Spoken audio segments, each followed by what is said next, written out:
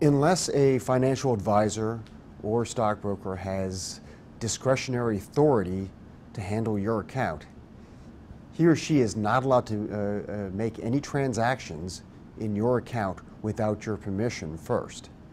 If the financial advisor or broker does buy or sell securities or products within your account without your permission, that is unauthorized trading.